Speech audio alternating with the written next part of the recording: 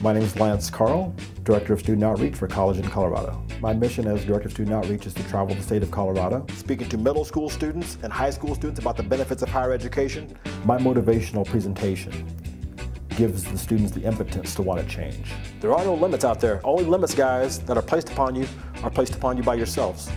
What our website does, collegeincolorado.org, it provides them the tool to make that change. When I speak to students, the first thing I do is I tell my life story because I think by telling my life story, it gives them an understanding of really of who I am. Whatever adversity and hardship you got in your life, you can overcome that through education. Lance taught me that you have to believe in yourself, plain and simple. I think it's important to educate yourself because knowledge is power. You choose your educational path.